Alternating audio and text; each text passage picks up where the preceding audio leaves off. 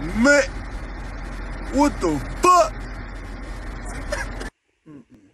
Um, y'all, I cannot let this slide. Studs, could y'all please explain to us why y'all think some of y'all think that this is okay right here. Mr. Ma'am, your titties cannot just be out here in the universe standing on the corner look like they ready to gang bang. Okay? This this is not cool. All right, LGBTQ community, y'all got to explain this because I'm sure y'all president wouldn't approve of this nasty mess right here. She out there just standing on the corner like it's a regular day for her. Like this right here is all right. And she just standing out there proud like her titties on a bus card or something. Like they they know where the hell they going. She act like her breasts got legs.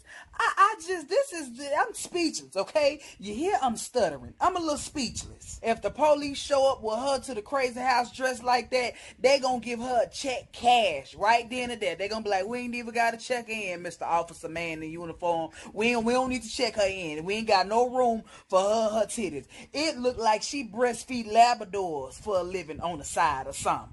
I'm trying to tell y'all, if I let my titties hang loose like that out in the open, I would shut that whole block down. They'd have been to call it CSI and said a UFO hit the corner. Okay? Do you? i am trying to tell you, they'll think a hot air balloon then landed in the middle of the goddamn roadway. It will be a complete blackout on that side of town. See, my gay stud friends hate when studs like this do this because they said make them look bad. It is a limit, okay? If your chest A ain't one to one ratio, okay, don't do this. If your titties look like you have bared a set of children, all right, breastfed them and tied your breasts back up together and gorilla glued them on your chest. Don't don't do this right here.